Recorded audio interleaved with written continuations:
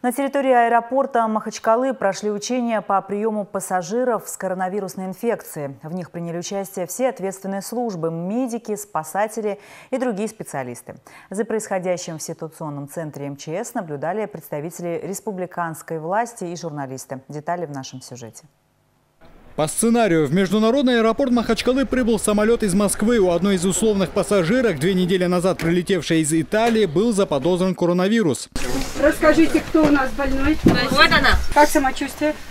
Плохо. Температура, кашель, боли в грудной клетке, одышка. Все перечисленные симптомы коронавируса выявлены. Врачи забирают условно заболевшую девушку для оказания медицинской помощи. До приезда скоро ее поместили в специальный изолятор. Измерили температуру, собрали данные, эпид-анамнез. Признаки респираторной инфекции по легенде на лицо. Температура повышена, давление понижено. Респираторный синдром.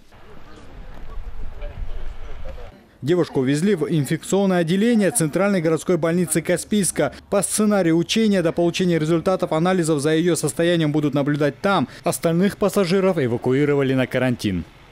За учениями по приему пассажира с коронавирусной инфекцией на территории аэропорта тщательно следят специалисты из ситуационного центра Республики Дагестан. Отработка всех действий транслируется вот на этих экранах прямой видеоконференц-связи специалисты различных структур и служб оперативно докладывали обо всех исполненных мерах, принятых для скорейшей изоляции условно заболевшей девушки и оказания ей первой медпомощи и безопасности остальных пассажиров. В ситуационном центре помимо главы регионального управления МЧС России находится министр здравоохранения и в Рио руководителя Республиканского управления Роспотребнадзора. Они держали под контролем каждый этап учений. При необходимости от них поступали прямые поручения.